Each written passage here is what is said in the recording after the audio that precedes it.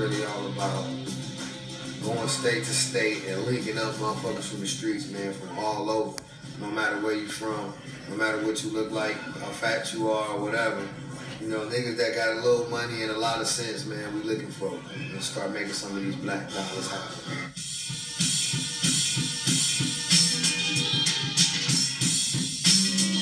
One of Big Meech's biggest self-proclaimed legacies was that he unified gangs from all over the country. Crips, Bloods, GDs, BPs. They all stood together underneath his black flag. And we got all type of niggas around here. It's Short niggas, tall niggas, bald niggas, light skin, dark skin, braids, dreads, fat, whatever you want. We do it all. We don't discriminate. Matter of fact, after you leave here, you end up getting your teeth on something and coming up with something better. You know what I'm saying? Like a new car, new house, maybe kids get to go to school, private school, paid for, courtesy of the mom. You know what I'm saying? We pay. You know, that's simple. A lot of niggas don't like to spend their money. We love to spend our money. We can't take none of this shit with us. This